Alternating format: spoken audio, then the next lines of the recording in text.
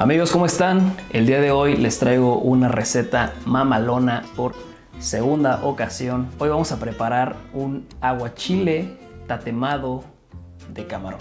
Y yo tuve un pequeño problema porque debía ser aguachile negro. Lo obtienes con la ceniza cuando quemas los vegetales, doras cuando los tatemas. Es un poco difícil hacerlo sin gas, sin carbón. Sin embargo, está muy bueno, está muy rico. Espero lo disfrutes. Vamos a hacer primero el aguachile. Necesitamos un cuarto de piña, medio pepino, un habanero, yo puse aquí dos, un diente de ajo, un cuarto de cebolla y el jugo de 5 limones sartén bien caliente vamos a calentar la piña, el pepino, el habanero, el ajo y la cebolla. Ya que lo tenemos todo listo, lo aventamos a la licuadora. Yo agregué un poco de pasta de chiles para que agarre un poco más de color.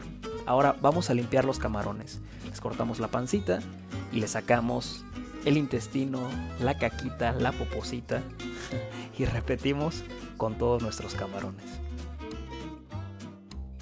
Bañamos ahora con el aguachile y lo dejamos reposar unos 7 minutos. Agregamos sal y aceite de oliva.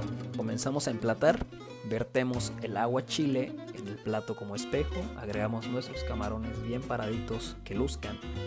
Yo para adornar agregué rodajas de aguacate, hojas de col cambray, aros de cebolla cambray, puntos de puré de aguacate, triángulos de betabel y unos pétalos blancos para terminar.